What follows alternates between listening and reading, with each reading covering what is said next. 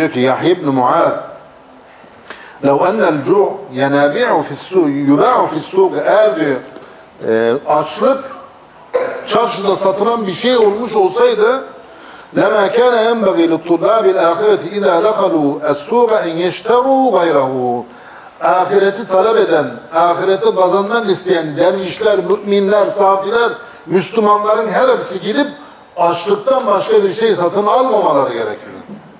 Sadece açlığı satın almaları gerek.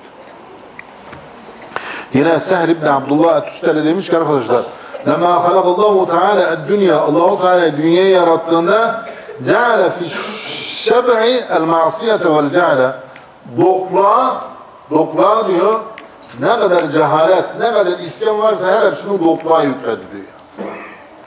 İnsan dok olduğu zaman gözü harama bakar diyor. Oynaşacak bir şey arar yani. Dok olduğu zaman ele harama uzanacak bir şey arar. Dok olduğu zaman ayağı harama gidecek bir yer arar. Ne ve ceale fil cu'i el ilme vel hikmete. Ne kadar da ilim varsa, hikmet varsa onların her hepsine açlığa yükledi diyor. Allahu Teala dünyayı yaratır koyuyor. Aç kaldınız mı? Hikmetler acayip ya.